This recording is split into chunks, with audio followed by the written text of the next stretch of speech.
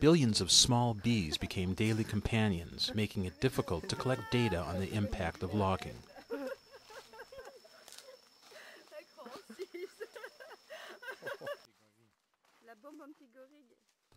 Forests are sources for a large number of products, including megaphrynium leaves. Pygmies use these leaves for cooking and for roofing material. Most non-timber forest products are used locally.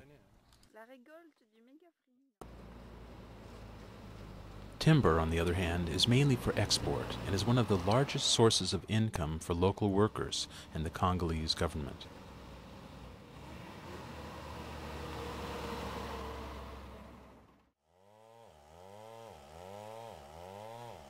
Selective logging is the most extensive land use in Central Africa.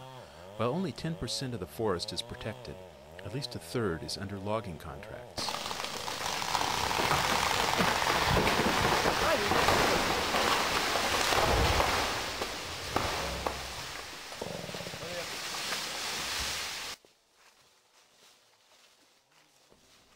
Reduced impact logging is a technique that includes the perfect felling of trees. Here, a field manager of the largest logging company in northern Congo applauds the skill of the young chainsaw operator. L'arbre il est parti en sécurité. Et donc vous voyez, euh, vous avez ça, euh, on n'a pas de fente, on n'a rien quoi. On n'a pas d'éclatement dans l'arbre. C'est magnifique. What's that thing on the top? One of the major threats to these forests is poaching. Logging roads open up large tracts of remote forest to hunters, and poaching is an ongoing problem in logging concessions.